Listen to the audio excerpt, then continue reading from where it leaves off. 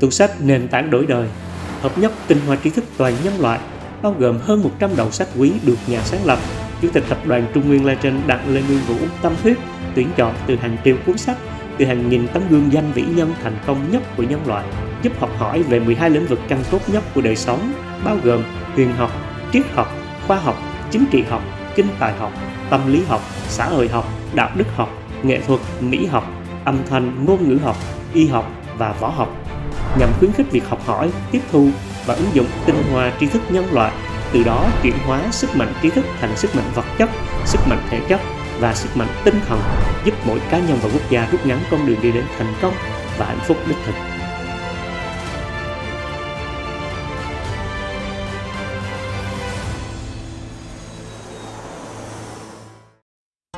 Nước Nhật không giàu tài nguyên nhưng đã chuyển mình thành cường quốc. Sức mạnh chấm hưng Nhật Bản chính là phát triển trí đức, học hỏi và sáng tạo. Khuyến học bàn về những yếu tố cơ bản khi xây dựng quốc gia hưng thịnh, về tinh thần học tập để quốc dân tự cường. Khuyến học là cuốn sách gối đầu giường của nhiều người Nhật và đến nay còn được tái bản như bài học nền tảng xuyên suốt qua các thế hệ người Nhật. Thế kỷ 19, Nhật Bản là nước phong kiến lạc hậu, bế quan tỏa cản với thế giới. Những luật lệ, tập quán phong kiến khiến nhiều người dân nhu nhược.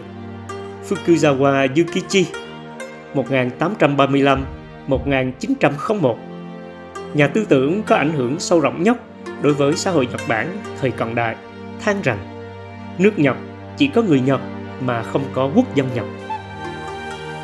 Xây dựng nền tảng tri thức và tinh thần cho công cuộc thay đổi vận mệnh Nhật Bản. Fukuzawa Yukichi là bậc khai quốc công thần của Nhật Bản, đã sáng lập Đại học Kyo, một trong những cơ sở giáo dục bậc cao lâu đời nhất Nhật Bản, và là thành viên hội trí thức Meirokusa. Các tác phẩm của ông đóng vai trò quan trọng, mang lại linh hồn và nền tảng tinh thần cho công cuộc thay đổi vận mệnh Nhật Bản, giúp đất nước này vươn lên vị thế cường quốc như ngày nay khai hóa văn minh, nâng cao dân trí, làm thay đổi thế giới quan của người Nhật. Đặc biệt, cuốn khuyến học được ông viết trong thời gian từ năm 1872 đến năm 1876 đã thức tỉnh hàng triệu người dân Nhật Bản.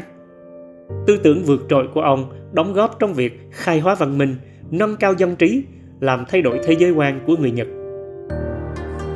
Thức tỉnh tinh thần dân tộc và trách nhiệm đối với quốc gia. Từ đó, toàn thể quốc dân Nhật ý thức được tinh thần độc lập và tự do, trên dưới một lòng, coi vận mệnh tổ quốc như vận mệnh của bản thân, đem hết tinh thần và trách nhiệm với tư cách là quốc dân Nhật ra phụng sự để xây dựng một quốc gia hùng mạnh. Như Fukuyawa Yukichi cũng nhận định, trời không tạo ra người đứng trên người, nếu có khác biệt là do học vấn. Thay đổi vận mệnh của quốc gia phải giáo dục trí thức toàn diện. Fukuyawa Yukichi đã minh chứng từ hiện thực xã hội phương Đông lẫn phương Tây để khẳng định những tiến bộ của văn minh đều ra đời từ sự phát hiện chân lý trong quá trình nghiên cứu mọi sự vật hiện tượng xung quanh ta. Thay đổi vận mệnh của quốc gia phải giáo dục trí thức toàn diện cho nhân dân. Một dân tộc thượng tôn trí thức, quốc gia mới có thể sánh vai với nền văn minh của các cường quốc toàn cầu. soi sáng, hung đúc nên chí khí và tinh thần quốc dân. Khuyến học, soi sáng, hung đúc nên chí khí và tinh thần quốc dân đã giúp Nhật Bản chuyển mình từ một quốc gia lạc hậu thành cường quốc kinh tế. Người Nhật tự hào trở thành dân tộc hình mẫu. Tinh thần dám đua tranh với các nước phương Tây. Không chỉ học tập chọn lọc mọi thành tựu của phương Tây. Fukuyawa Yukichi nêu lên tinh thần dám đua tranh với các nước phương Tây về kinh tế, khoa học kỹ thuật. Từ đó hung đúc cho người dân Nhật tinh thần doanh thương ngạo khí, tạo nên một loạt tập đoàn hùng mạnh, quy mô trên toàn cầu và trở thành động lực để thúc đẩy kinh tế, khoa học kỹ thuật Nhật Bản phát triển thành một cường quốc tinh thần đoàn kết vượt qua mọi nghịch cảnh trở thành cường quốc hàng đầu thế giới.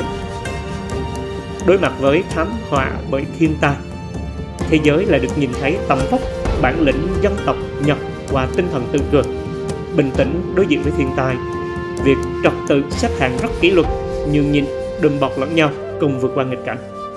Nhận được sự nể trọng của cộng đồng thế giới về tinh thần dân tộc, Nhật Bản đã vươn lên mạnh mẽ, trở thành cường quốc lớn trên thế giới, dẫn đầu ở nhiều lĩnh vực, sở hữu sức mạnh kinh tế và sức mạnh khoa học kỹ thuật vượt trội, những thương hiệu đi khắp toàn cầu không hề thua kém phương Tây.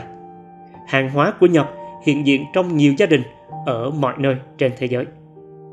Tinh thần khuyến học kiến tạo nên sự thịnh vượng cho đất nước. Nhật Bản có thể nghèo tài nguyên, bị chiến tranh tàn phá, nhưng một dân tộc có tinh thần khuyến học sẽ luôn tìm thấy con đường đi đến sự thịnh vượng. Chí khí, tinh thần quốc dân Nhật được cả thế giới học tập. Khuyến học cùng đắc nhân tâm, nghĩ giàu làm giàu, quốc gia khởi nghiệp không bao giờ là thất bại, tất cả là thử thách. Là năm cuốn sách đầu tiên trong tủ sách nền tảng đổi đời được nhà sáng lập chủ tịch tập đoàn Trung Nguyên Legend Đặng Lê Nguyên Vũ tuyển chọn trao tặng cho thế hệ thanh niên Việt trong gần 10 năm qua với mong muốn tạo dựng sức mạnh tri thức đúng đắn và toàn diện cho mỗi thanh niên Việt từ đó chuyển hóa thành sức mạnh của thế hệ trẻ. Độc giả có thể tìm đọc những cuốn sách quý đổi đời tại các không gian Trung Nguyên Legend, Trung Nguyên e-coffee và tại website www.hành trình lập chí vĩ đại.com hoặc tại app Trung Nguyên Legend Cafe.